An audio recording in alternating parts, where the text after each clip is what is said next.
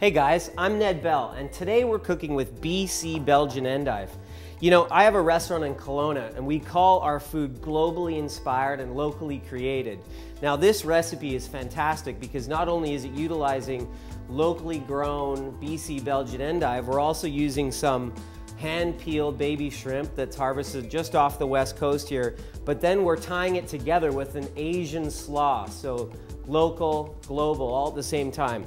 This has a ton of flavors in it, and we're gonna start by making our dressing. Now, as I said, it's an Asian style dressing, so we're gonna start with some rice wine vinegar. We're gonna add a little Canadiana to it with some maple syrup for some sweetness. A little bit of soy sauce for some saltiness. Some canola oil and some sesame oil. We want about two thirds to a third canola to sesame because sesame is so strong in flavor. We're gonna add a little bit of mustard powder and then some miso paste, yellow miso paste. And then we're just gonna blitz it up.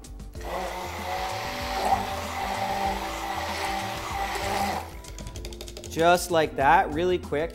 Now you could add some fresh lime juice to that as well. That would be fabulous.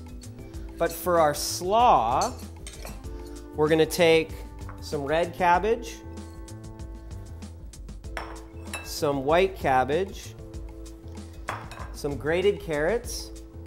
You could add grated cucumber in here, grated zucchini would be great as well. Of course, the star of the show, really finely chopped or sliced Belgian endive, some green onions. We'll add our dressing like so A little bit of cracked pepper. We don't need any salt in this because the miso is quite salty and the soy sauce is quite salty. Mix it together.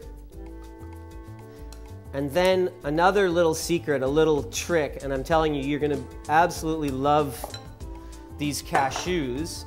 All we've done is taken a hot sauce, tossed the cashews in the hot sauce, and then bake them in a 325 degree oven. Not too hot because they're gonna toast up pretty quickly, but basically they're spicy cashews. Another great component to this dish. Plate it up just like that, and we'll do two versions here. Some with our beautiful hand-peeled baby shrimp, some of our spicy cashews, like so, or we've gone ahead and grilled some perfect chicken breast.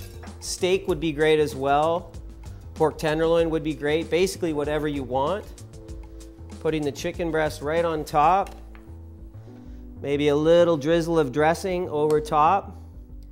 And just like that, you have the perfect, quick lunch, dinner, or snack using BC Belgian endive.